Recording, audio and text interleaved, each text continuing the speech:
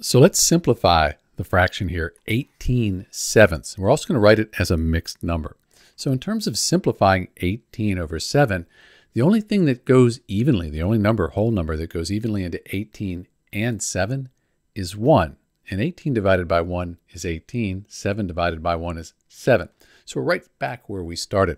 That means 18 sevenths. That's already simplified. But we can write it as a mixed number.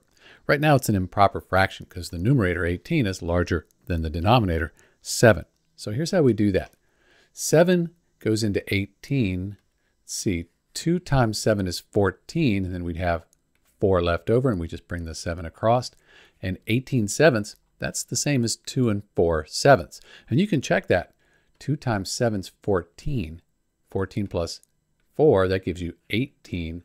And keep the 7 across the same. That's what we started with. That's how you do it. That's how you simplify 18 sevenths. It's already simplified. And if you want it as a mixed number, it's 2 and 4 sevenths. It's Dr. B. Thanks for watching.